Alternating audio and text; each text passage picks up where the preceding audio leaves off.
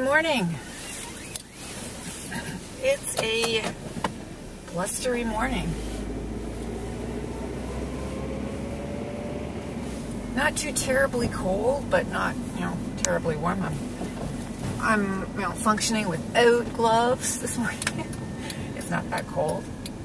But, it, you know, steering wheel, the steering wheel still feels, still feels a little chilly.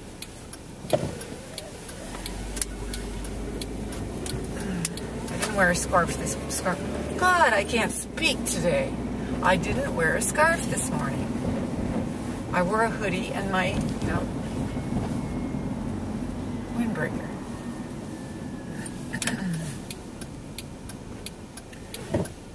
ah, maybe they'll go to school a different way. How's that? I think they'll go a different way. I think that's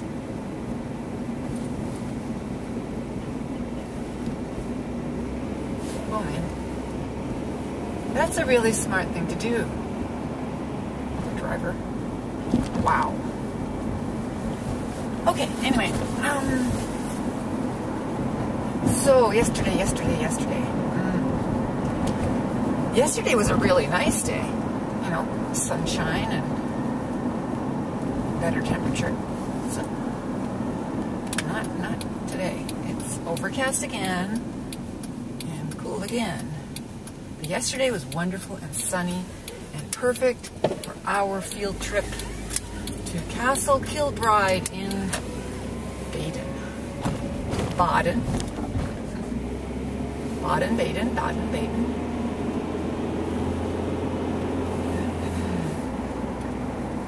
So we had a whole bus full of students. Maximum full capacity uh, they had a great time. We spent oh, about oh, it was a little a little over an hour, but uh, ah, theater is coming along. Wow, it's interesting to see cars parked in the parking lot. Usually, when I go by, there's nothing, nobody. Come on the weekends or in the evenings, closer that or yeah. This is all the all the workers working on the building, on the future professional theater. Kind of cool. Nice to see the lights up, all the Christmas lights. Yes, so um, this place, Castle Kilbride, was the uh, the home that the Flax King of Canada built for himself and his family, his wife and his 12 children, and three generations lived there before um, selling it, and then it went into disrepair, and then it was bought by the township who has then, since then, spent time renovating it. Actually, it got uh, a wonderful uh, national, uh, national designation. Anyway, historical designation because it has beautiful Trompe-l'oeil um, paintings all over the house. So there are, you know, fool your eye type of paintings on the walls and on the ceilings. Really cool place. And it has a beautiful belvedere on top of it, which looks out over the entire town of Baden. Village of Baden? I'm not sure what it is. But, uh, yeah, it was cool. The kid, the students, the kids, I was, the students really liked to, really enjoyed it. Really enjoyed it.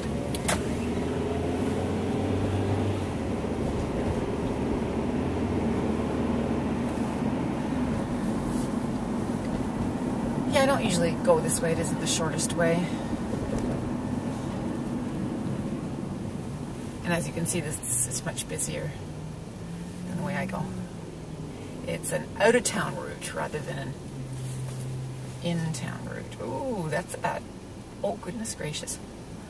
interesting moves. A car backing up across an intersection.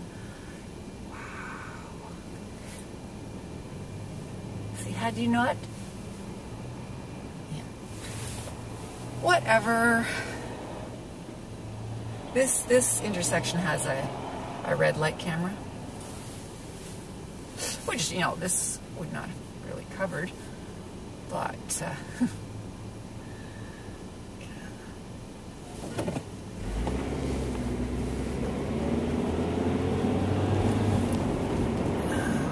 all kinds.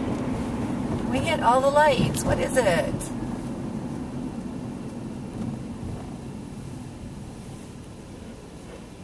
So we're really getting close to Christmas.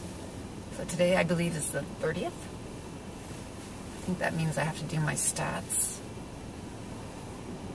I'm doing a, I'm going up for a pedicure tonight and then we have to start shopping. We have to get some Christmas gifts. You know, the ones that are through the work gift exchange. Plus, I'm I'm getting a gift for a one child in the uh, daycare. So uh, yeah, we've got some easy gifts to get. A signal would be useful. You know, that's a little thing that you switch to let people know what you're doing. People just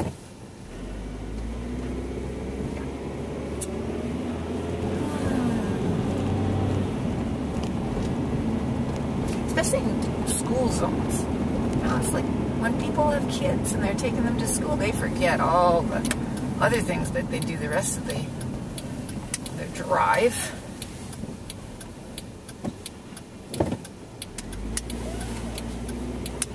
And they just concentrate on their kids and not on their kids' safety. No, no, no.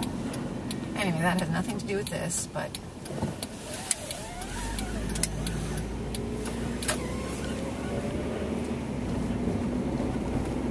just with my irritation.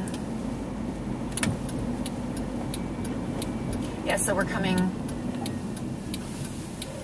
we're coming from the top rather than from the bottom. Just so that you get a bit of variety.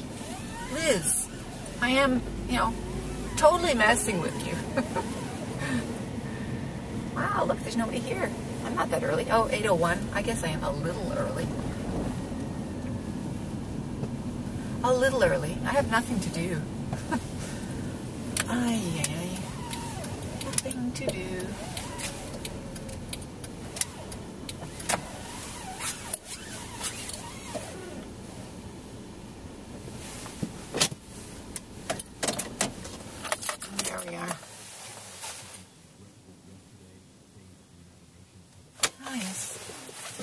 Missed all the news because of you guys. Ah, uh, yeah. What will I do? I suppose I should start, you know, marking my students' assessments. Maybe that's a plan. Mark assessments. Yeah.